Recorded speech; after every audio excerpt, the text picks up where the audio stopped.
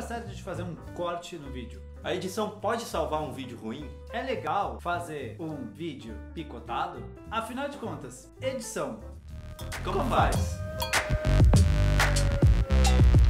das campeãs de perguntas pra gente aqui no A Gente Faz Séries é como faz edição, que programa vocês usam pra fazer edição, meu Deus, o que é uma edição? E por isso a gente resolveu fazer esse vídeo para poder explicar para vocês um pouco do nosso processo de edição, o que, que pode ser feito, o que, que não pode ser feito, que tipo de software a gente usa, quais são os principais problemas na hora de editar o vídeo e falar um pouquinho sobre isso. A edição, ela basicamente é uma ferramenta a serviço do roteiro. Logicamente, existem alguns casos em que o roteiro é criado na edição, como por exemplo quando você for fazer um documentário. Você tem um esquema de como gravar aquilo, mas ele surge mesmo na edição. O primordial da edição é transformar todo aquele material bruto em alguma coisa que faça sentido. No nosso caso, para fazer os vídeos de dramaturgia que a gente faz, a gente sempre seguia no roteiro que foi escrito para fazer a edição. Muito raramente a gente foge do esquema que foi feito para modificar uma coisinha ou outra. Então, quando, quando a gente começa a editar, a gente sabe que a cena vai começar e terminar naquele ponto do roteiro. Então, a gente usa ele como esqueleto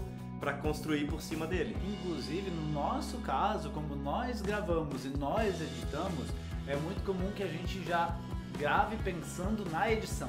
É, às vezes no momento da filmagem, por exemplo, o ator errou uma fala ou fez uma careta na hora errada, ou fez uma expressão que não devia, mas a gente sabe que naquele momento a cara dele não vai estar tá aparecendo, vai estar tá aparecendo o plano da pessoa que está contracenando com ele, então a gente não precisa refazer esse take, porque a gente vai salvar na edição. Mas, logicamente, se você é uma pessoa que, por exemplo, trabalha apenas com a edição e não está captando material, o roteiro vai ser primordial para você, porque vai ser necessário para você ir seguindo sabendo quem tá falando, quando vai ser, etc e tal. Quando a gente fala de edição e a gente diz que a edição é uma ferramenta a serviço do roteiro, ela pode fazer também o que a gente chama de um desserviço ao roteiro. É, da mesma forma que, que a edição pode salvar um, um vídeo ruim ou consertar falhas e problemas da captação, uma má edição pode destruir um vídeo que tinha todo o potencial para ser um vídeo bom. Mas o que é uma edição ruim? Uma edição ruim é aquela que não respeita o tempo certo de cena. Eu não estou falando de duração, mas sim de timing, o tempo interno da cena. Uma edição ruim é aquela em que, por exemplo, o ator está falando e ele tem um interlocutor e a gente não vê a reação do interlocutor, que muitas vezes é muito mais rica do que a fala do próprio ator. A gente tem uma, um exemplo muito legal. Na série Turn Off tem uma cena que o pai do Doug tem um texto de quase 3 minutos e o Doug não fala uma palavra, mas as reações dele naquela cena são muito importantes. Então, nesse caso, a edição ajudou a dar o quê? Ritmo pra cena e valorizar a reação do personagem para melhorar a narrativa.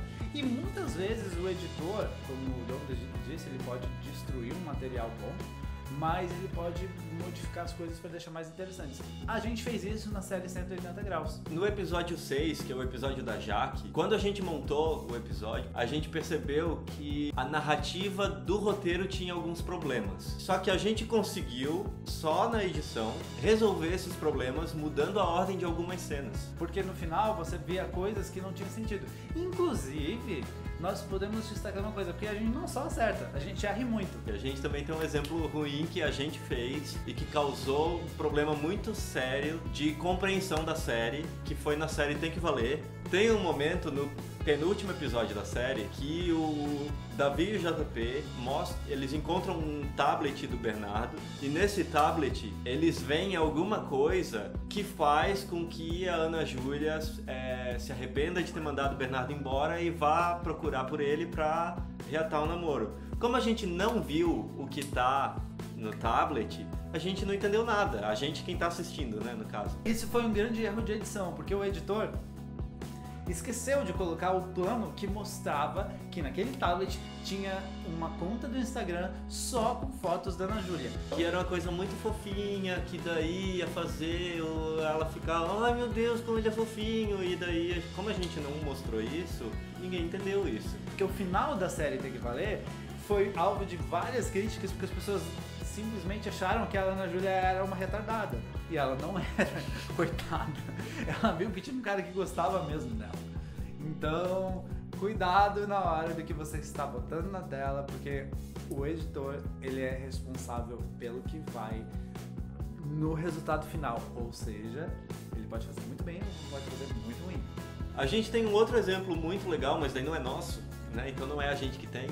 Existe um outro exemplo muito legal de um filme que também foi salvo na edição. O editor teve uma sacada muito genial em pegar o filme Amnésia, de 2000, do ano 2000, e inverter a ordem que a história foi contada. Então o filme se passa inteiro de trás para frente. Isso rendeu o prêmio, por exemplo, de melhor montagem da década de 2010. A edição do filme, a montagem do filme é sensacional. Se vocês tiverem a oportunidade de ver e encontrar ele por aí, assistam. O nome dele em inglês é Memento para facilitar a vida de vocês. Um outro aspecto muito importante quando você está fazendo a edição é ficar atento ao ritmo, que é uma coisa que a gente sempre pega no pé, desde quando a gente estava falando de roteiro. Lembra? Porque o ritmo define tudo. Uma coisa que você deve ter cuidado sobre ritmo é na quantidade de cortes que o seu material, que o seu vídeo pode ter. Não, não existe uma regra básica para isso, mas você tem que ter a capacidade de sentir quando, quando esses cortes eles vêm muito próximos um do outro, muito, são muito exagerados, ou quando faltam cortes e existem muitas pausas no vídeo e, e isso torna o vídeo mais lento de se assistir. Logicamente que isso vai variar do tipo de material que você está fazendo. Um videoclipe, por exemplo, existe uma espécie de um padrão, que obviamente não se segue um padrão, mas existe uma formulinha básica para um videoclipe que é o seguinte: a imagem não pode durar mais que 4 segundos. Aí você pensa, cara, 4 segundos é muito pouco. Em vídeo não é. Em vídeo, 4 segundos é muito tempo. Por exemplo, 4 segundos da gente fazendo nada. Nesse momento a gente tá perdendo audiência e nem passaram 4 segundos. Exatamente. que eu não consegui esperar.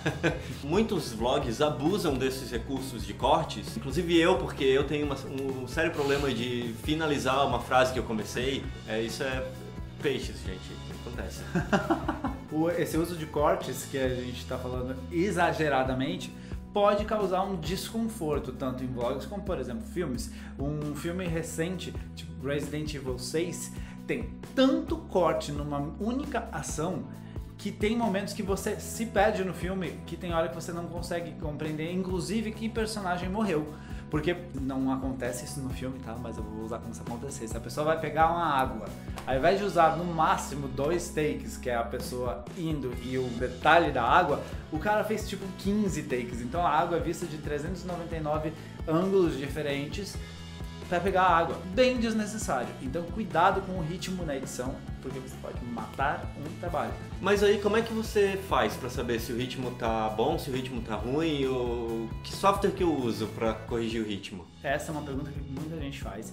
E é o seguinte, não existe um aplicativo, um software que seja o melhor. Existem aplicativos que têm mais recursos, mas isso não necessariamente vai afetar a qualidade da edição. A qualidade da edição está na pecinha em frente do computador, ou seja, você. É, independente se você usa o Adobe Premiere, se você usa o Final Cut, se você usa o Sony Vegas, é, que são os três principais, se você usa o Movie Maker, você tem que apanhar na cara e baixar um software decente porque, pelo amor de Deus. Ai, ai, ai. É, independente do software que você usa, eles basicamente têm as mesmas funções, fazem a mesma coisa. Alguns são mais práticos para alguns modelos de edição, outros são mais práticos para outras coisas. Além disso, muitas vezes muitas pessoas perguntam pra gente: ah, eu quero fazer um vlog, quero fazer não sei o que, qual é o melhor aplicativo para isso?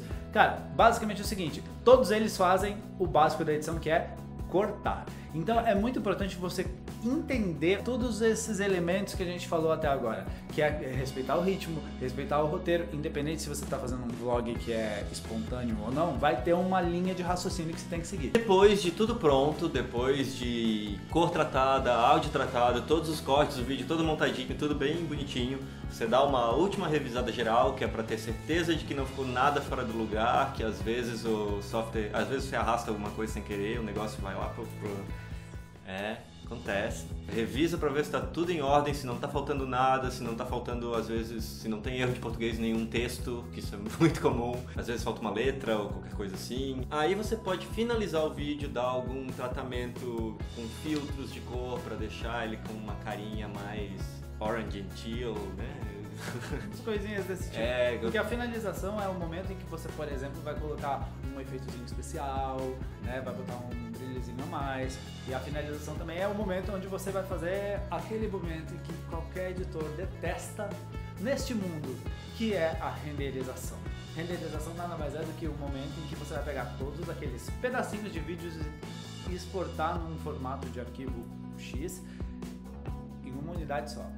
E isso, dependendo do computador que você tem, demora. Aí você manda exportar, vai fazer um café, vai fazer um lanche, vai sair, deixa o computador lá ligado fazendo. É, você não vai conseguir mexer nele direito mesmo. Aí é isso, daí lá depois de umas duas, três, cinco horas, o teu vídeo tá pronto.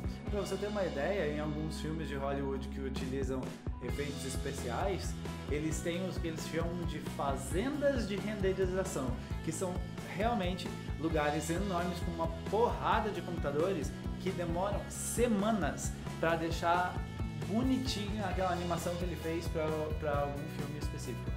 E com isso a gente termina mais um vídeo. Não esquece de curtir todas as nossas redes sociais, Facebook, Instagram, tudo a gente faz séries. Comenta aqui embaixo se você tem alguma sugestão de algum assunto que queira que a gente fale. Podem fazer perguntas pra gente também sobre qualquer tipo de assunto de produção de vídeo, que se a gente puder a gente vai responder. E em breve a gente promete que tá voltando com uma série nova pra vocês. Sim, estamos começando a escrever os roteiros da segunda temporada de 180 graus. Esperamos tê-los todos concluídos em breve para correr atrás da produção, da gravação e da edição para próximo mais semestre.